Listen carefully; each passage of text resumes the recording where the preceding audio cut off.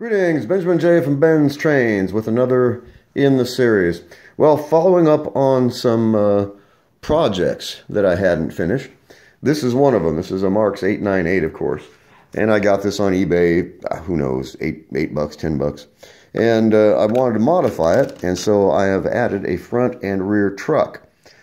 And I originally used the uh, front truck off a 999 with both of the arms uh, together on a single screw. It worked, but it was clunky.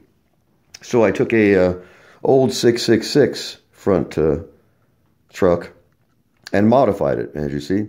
Got it mounted with a 632 screw and a nut. The rear truck is actually the front truck off of an old Lionel locomotive. Anyway, got this uh, finally finished, so I thought I'd do a quick video and take it around. It runs well uh, made completely out of an old junk 898. Um, runs forward only.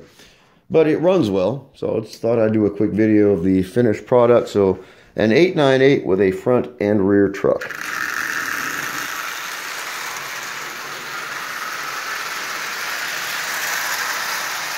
As you see, it runs quite well.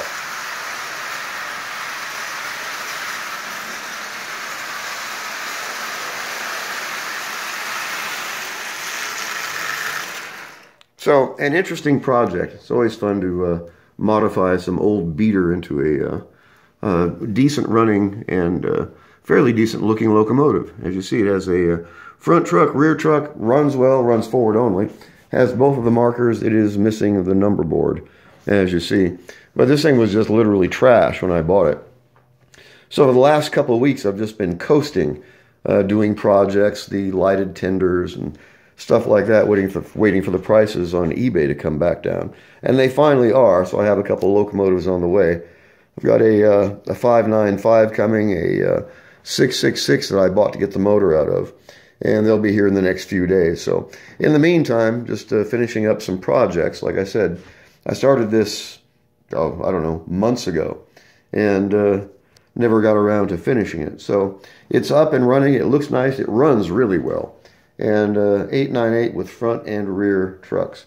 So just a quick video. As always, if you have any questions, feel free to drop me an email, benztrainz at gmail.com. And as always, thank you for watching.